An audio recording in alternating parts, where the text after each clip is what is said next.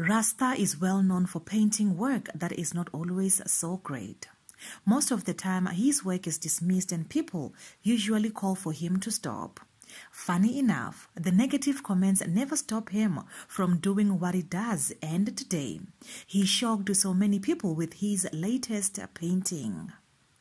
Hi, Tea Squad, and welcome to the Tea World. Rasta doesn't just paint, he produces paintings of people who are deceased. He has painted people such as the former South African President Nelson Mandela, former Zimbabwean President Robert Mugabe, Double HP, and many more. Very recently, South Africa had to bid a sad farewell to Menzi Ngubane, Noxolo Maqashalala, and the Zulu king Zwelithini. After this death, the first thing people wanted to do was stop Rasta from painting the deceased ones, only to find out that he has already done it. Not only did Rasta paint the loved ones, but he did a great job doing it. Many still don't believe that it's his work as they believe it's too good to be true. Others think the picture Rasta uploaded was photoshopped.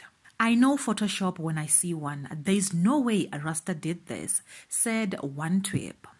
Was Rasta painting with a gun pointed to his head this time? It's unlike him, said another twip. At Tea Squad, it seems to me like everyone being shocked is a good thing for Rasta because that means he did an amazing job. But what do you think, Tea Squad? Do leave your comments down below. I love you.